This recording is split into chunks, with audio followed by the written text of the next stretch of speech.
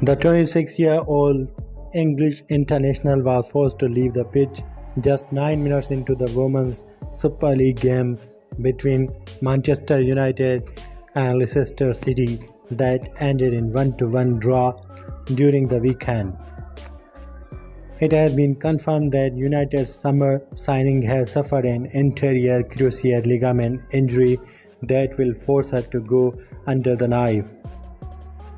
George will definitely be absent for United's next Champions League clash against Paris Saint-Germain with head coach Marc Skinner suggesting he could be out of action for up to a year.